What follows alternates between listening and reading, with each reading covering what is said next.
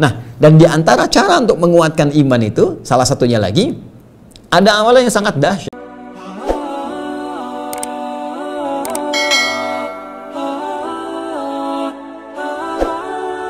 Kalau kita ingin kembali mendapatkan berbagai kemuliaan-kemuliaan tadi, kemudahan dalam kehidupan, ya, kelancaran beraktivitas, mendekat untuk mendapatkan segala kemudahan dari Allah, maka tidak ada cara lain kecuali kita kembali kepada Al-Qur'an. Kembali untuk mempelajari, kembali untuk mengkaji, kembali untuk membawa pedomannya sehingga mudah diamalkan dalam kehidupan. Kalau Anda nggak percaya, silahkan cek semua di Al-Quran. Ya, masalah orang sakit ingin mendapatkan kesembuhan ada di Al-Quran Ya, Masya Allah gitu, banyak ayat membentang di Al-Quran. Dari mulai bagaimana kita memohon. Quran Surah 26 ayat 80, Wa idha maritu fahuwa yashfin.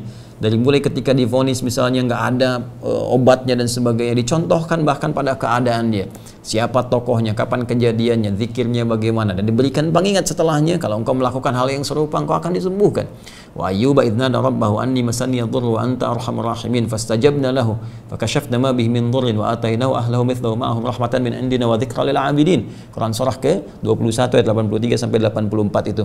Ya, ya ayuhan nas qad ja'akum qad ja'atkum mau'izatun min rabbikum ya wa shifaa'un lima fis sudur wa hudaw wa rahmatul lil mu'minin Hai semua manusia, bahkan diingatkan ke semua manusia. Ya Quran surah ke-10, Yunus ayat ke-57 itu. Hai semua manusia, telah datang pengingat kepadamu, nasihat untukmu. Jadi Allah kasih nasihat nih.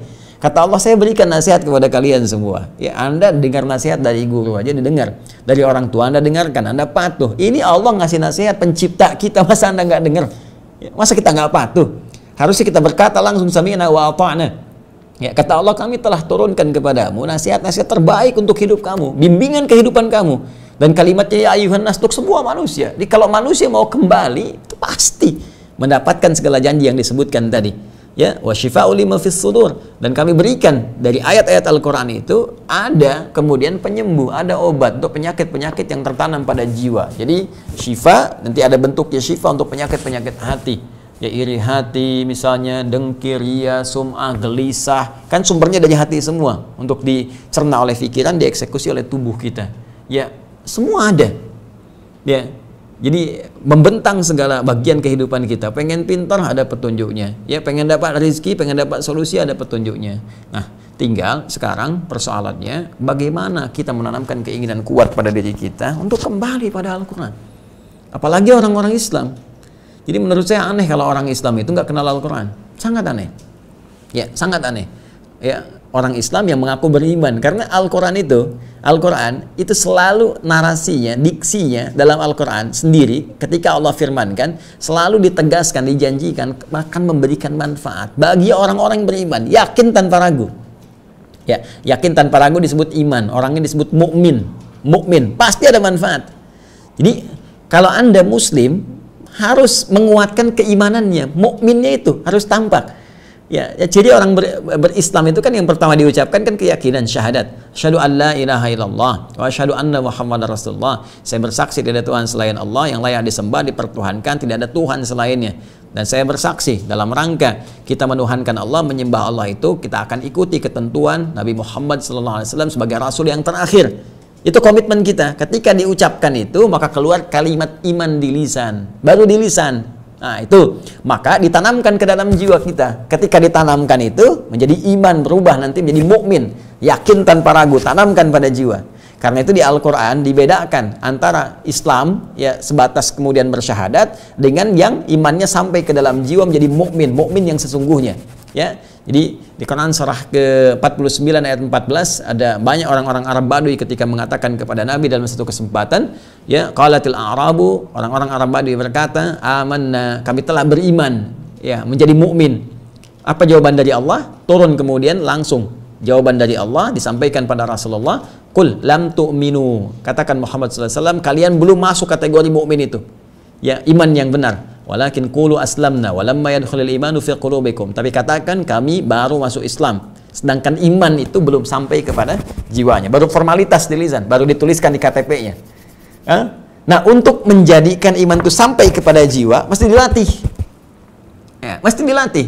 Nah, latihannya itu berupa amal soleh. Amal soleh punya turunan.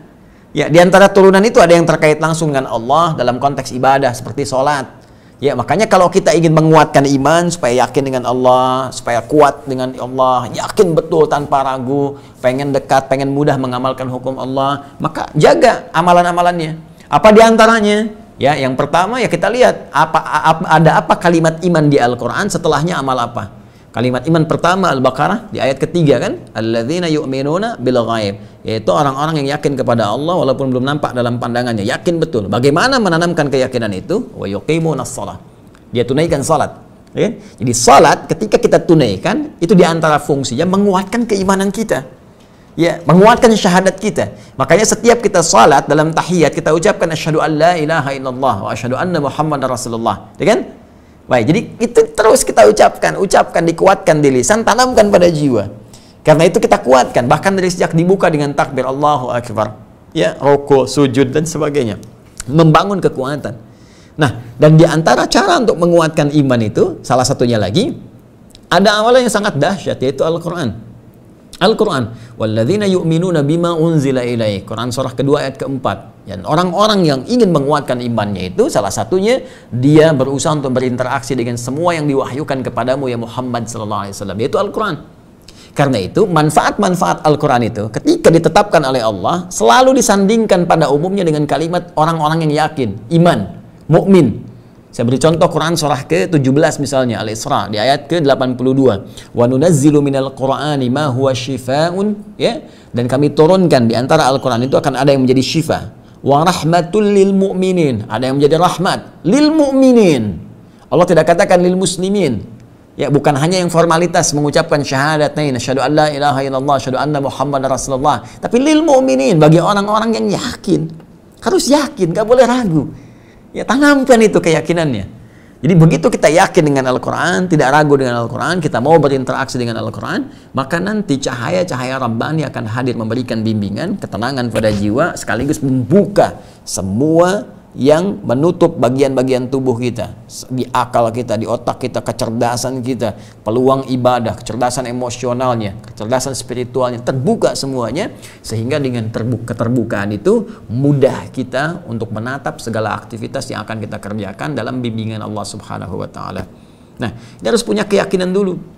Jadi kalau orang-orang dulu tuh sami'na wa ata'na, selesai Ya mau rezeki muda mereka dekat dengan Al-Quran. Mereka bangun hubungan kepada Allah lewat salat. Silahkan cek profil semua ulama dulu. Atau ilmuwan-ilmuwan muslim yang menginspirasi. Semua mulai. Dari salat perbaiki, kemudian mereka mendekat kepada Al-Quran. Cuma ada di Al-Quran. Wa yarzuqhu min haitsu la yahtasib. Ada di Al-Quran. Wa may yattaqillah yaj'al lahu min amri yusra. Ada di Al-Quran. Siapa yang meningkatkan takwanya kepada Allah, maka Allah akan ya berikan jalan keluar dari setiap persoalan, diberikan rezeki dari sisi yang tidak diduga, akan dimudahkan semua urusannya. Ya, bagaimana meningkatkan takwa? Ya, membangun hubungan dengan Allah, berinteraksi dengan Al-Qur'an, diperbanyak diri kita mendekat kepada kebaikan, belajar rumusnya. Dan semua cara tertuang di Al-Qur'an. Wattaqullaha la'allakum tuflihun. Wattaqullaha yu'allimukumullah. Tingkatkan takwamu kepada Allah, kamu akan bahagia. Tingkatkan takwamu kepada Allah, kamu akan dibimbing supaya pintar, ditambahkan pengetahuan. Nah, cara mendapatkan itu semua mesti tahu isi Al-Qur'an.